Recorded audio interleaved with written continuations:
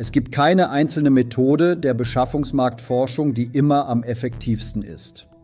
Die Wahl der Methode hängt stark vom konkreten Beschaffungsproblem und Informationsbedarf ab. Daher ist es ratsam, mehrere Methoden kombiniert einzusetzen. Sekundärforschung durch Analyse öffentlicher Daten ist eine kostengünstige Basis, um erste Einblicke zu erhalten. Befragungen von Lieferanten, Befragungen von Kunden, oder Befragungen von Experten liefern detaillierte Primärdaten aus der Praxis.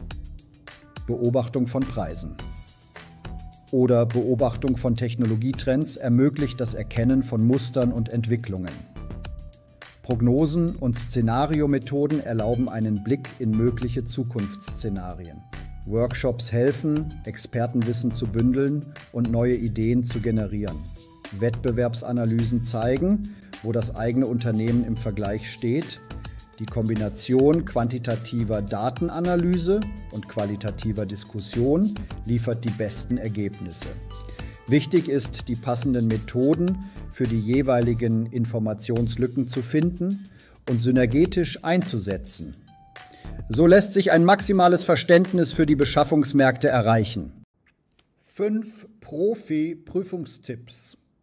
Klicken Sie dazu auf den Link unter diesem Video.